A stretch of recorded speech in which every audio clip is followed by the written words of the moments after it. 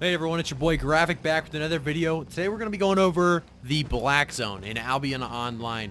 Uh, so the Black Zone, as you scroll out, hit uh, the button M on your keyboard, scroll out a little bit, and this is the Royal Continent, the Umbrash, the Glamour, and the Solidian. I'm not for sure on how do you pronounce those. And we got Mirapools and Blin Bray. These are all guesses, by the way, on these uh, spellings, so bear with me. Uh, so up here we got all what we call the black zones. Uh, this is basically where you can get PvP'd at any point in time, and it is full loot drops. So you don't want to die out here. Um, but out here there is more rare spawns, um, more rare nodes, and a lot more pretty much space for you to do your thing. Uh, it is a lot more dangerous, but this is where you're going to be spending the majority of your time. Uh, if you're a hunter or like a gatherer of some sort or, you know, fishing at a higher tier. Because this is where you can only find your tier 7 and tier 8 um, places to go and gather or, you know, do dungeons. Tier 7 and Tier 8 are locked into the black zone. You won't find any Tier 7 or Tier 8 spots in the blue, yellow, or red zones. So I do suggest coming out here, getting yourself a little bit familiar with the areas. Uh, so like I'm in Caerleon, Caerleon right now, and let's go see where we can all go. So I can only go to the red areas, which is Elmwood, Alderwood, Gravelight Marsh, Clay Hill, and Flintstone, or Flint Split, Flint Slice Plain. Um, and that is because I am kind of locked to my portal of Caerleon. So what I'm going to want to do, so let's just see real quick. I have a inventory full of PvP gear and I got the Siphon Energy um, ready for PvP as well. And I do have the Adept Skinning Knife. And I'm going to be trying to skin out in the wilderness, or I get a habit of calling it a wilderness, but it's the Black Zone. I will be skinning out in the Black Zone. Uh, so let's look around and see what is the best for skinning in the black zone. We got a tier 6 here, tier 5 here. Um, let's see if we can find any like tier 4s or below for Caerleon. I don't believe there's any right next to uh, the Caerleon spawns. There's a tier 5 here and tier 6. Tier 5 might be the best we can do with the Caerleon uh, spawns. And I keep changing how I'm pronouncing Caerleon, and I'm sorry about that, but so right here, let's just go to Clay Hill. Let's see if they have any, um, if they have what we need. So we're looking to scavenge uh, some leather. And they don't actually have a supply of leather here. And you can check that up when you're checking the black regions or any region. You can check up at the top to see what they all contain. So this is the rate of enchanted resources in this cluster. It'll show you the uh, percentage as some are a little bit higher than others. And you can see what kind of resources they have. So this is four to five or four to six um, wood, four to six on stone, and four to six on mining ore. So let's take a look and see if we can find any tier fives on the scavenging. I think Elmwood has some. Yes, it does. So Elmwood has four to six, um, and we got that 13% again, I believe. So I don't know. See if they're all 13%. It's actually kind of interesting to me. I so this has an 18%. It is a tier 7, so I think it probably goes up based on the tier. So now we have 22% on a T8. So it does go up based on tier of the area, I believe. So, but basically, you're going to want to kind of scavenge around and see where you want to uh, go in the black zones by clicking on the map. And you can actually see the map before you get there. Uh, if you come in on this, if you come south, uh, southwest, or southeast, sorry about that. If you come in southeast, you'll be coming in right here, and you can kind of scout out the area uh, knowing where you're going to be coming into the Black Zone. Black Zone is very important to kind of know where you want to go. So, like I said, I could go to, uh, I think it was Elmwood. Let's take another look real quick. It was Elmwood that I wanted to go. So let's head over to Elmwood.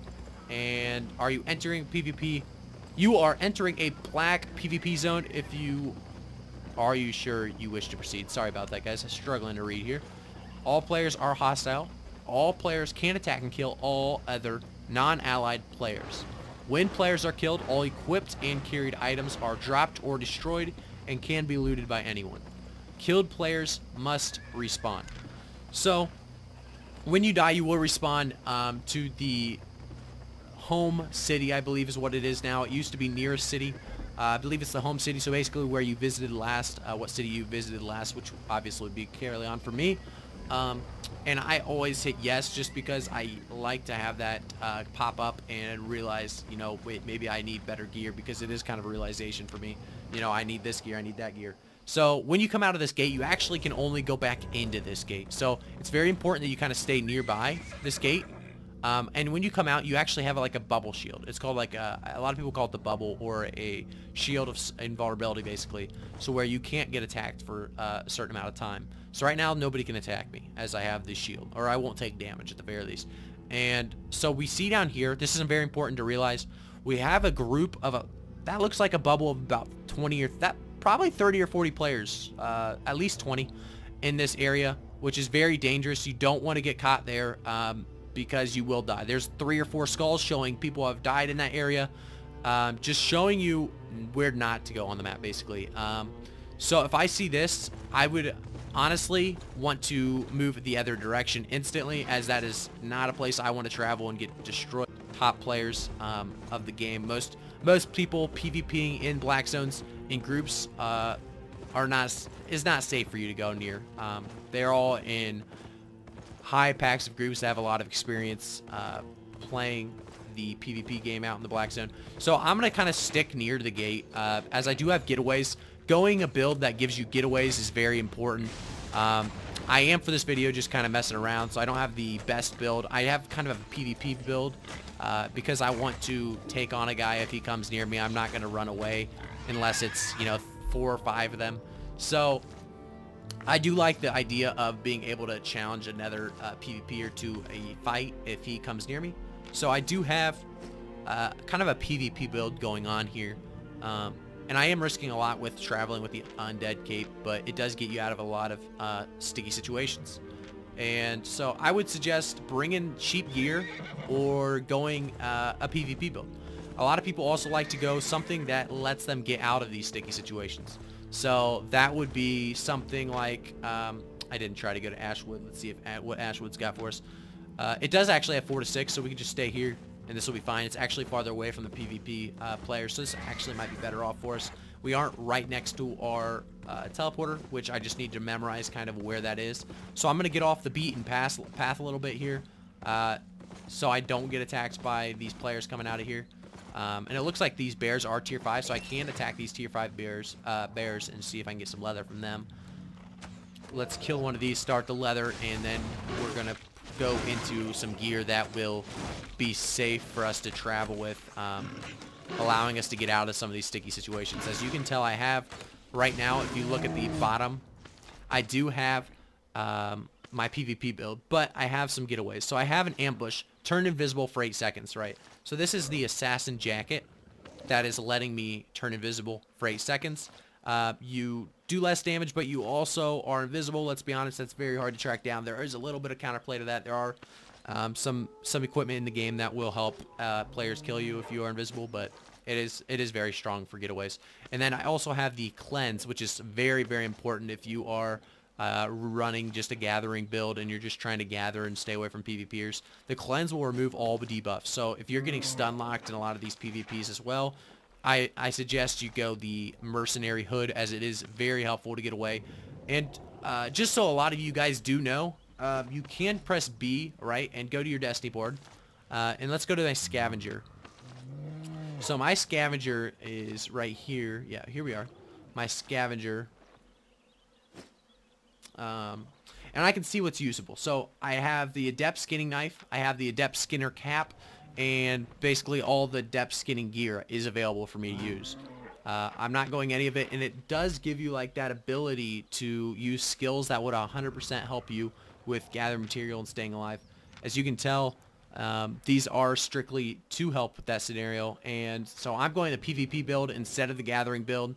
They will both have that chance of helping you out, and I really suggest you guys go either a PvP build or a gathering build don't stick to just going random random builds that you know won't really provide you anything uh, upon getting chased down by a PvP player or anybody of uh, danger to you. Uh, as we get stunned by the bear here. Could have used a cleanse, but we're not going to pop it.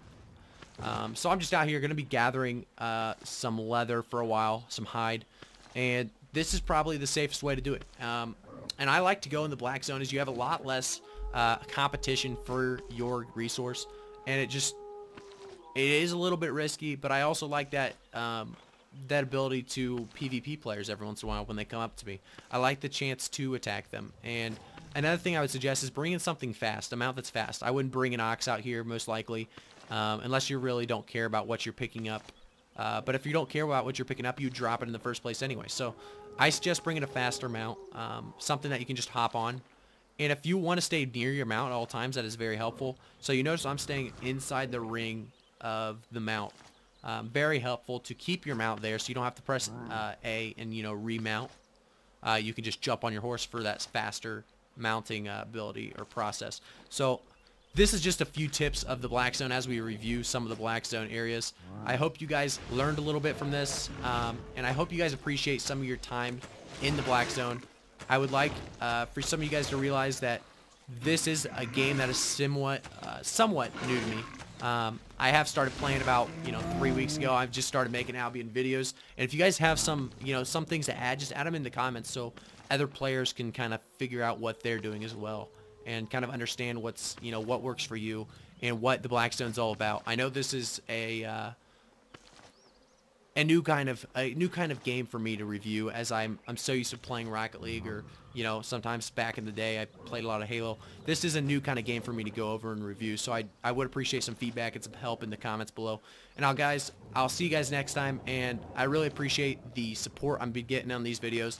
And like I said, I'll see you guys next time with the next Albion or Rocket League video. Thanks guys.